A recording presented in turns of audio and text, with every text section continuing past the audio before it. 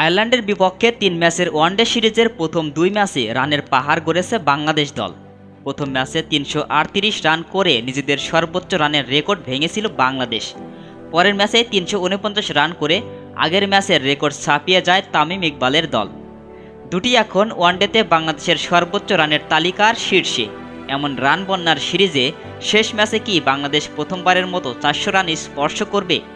বাংলাদেশ দলের pace bowling coach Alan ডোলান্ডের উত্তর সম্ভব, এতে কোনো সন্দেহ নেই। তাকে প্রশ্ন করা হয়েছিল, কীভাবে সম্ভব? উত্তরে তিনি বলেন, আমরা যদি জুটিগুলো আরেকটু বড় করতে পারি, তাহলেই চারশো রান করা সম্ভব হবে। প্রিয় দর্শক, আপনার কি মনে হয়, বাংলাদেশ কি ওয়ানডেতে চারশো রান করতে পারবে? আপনার মূল্যবান মতামত অবশ্যই কমেন্ট বক্সে জানাবেন।